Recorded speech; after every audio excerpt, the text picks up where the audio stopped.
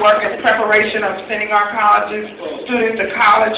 I say that because oftentimes they're not aware of the ACT significance and importance, and oftentimes our high school counselors are dealing with testing.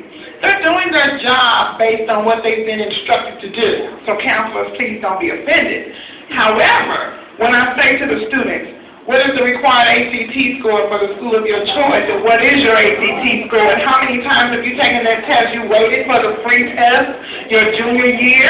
You mean you haven't applied for college? Do you understand that your transcript, have you ever seen your transcript before you send it out to a university for the application process? Did your counselor tell scholarship deadline usually occurs in the month of February? So it's actually your 11th grade and your ACT score in the 11th grade that qualifies you for the money that you need after graduation. Did your counselor explain to you the difference between a high school diploma and a high school certificate? You can't go to college with a certificate, baby. You didn't have a GPA. You had a 1.1, but they let you walk out of social promotion. Did your counselor talk to your parents? Counselors are overwhelmed with a workload that prevents them from counseling.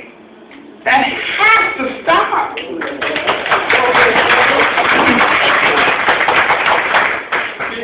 Ms. Fields?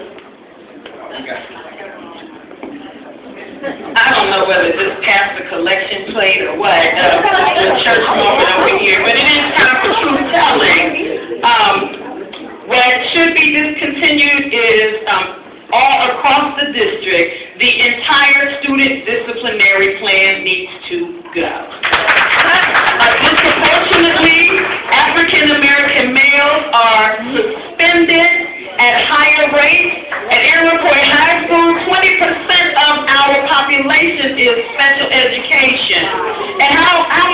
Want to bet where those suspensions come from? Which is my next piece of it. And parents, you need to wake up and be aware, pay attention. Read that student code of discipline and conduct because your child is often being railroaded if she or he has been suspended because you have not had due process because you don't know what the process is.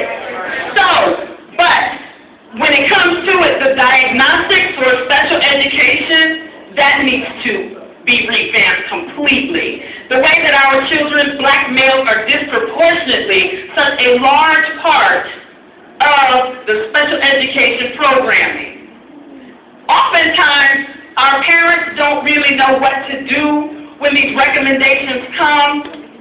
Check to see if they're wet behind the ears. They don't have a professional opinion yet. You know your child, need to show up and advocate for your child's placement inside of that particular school.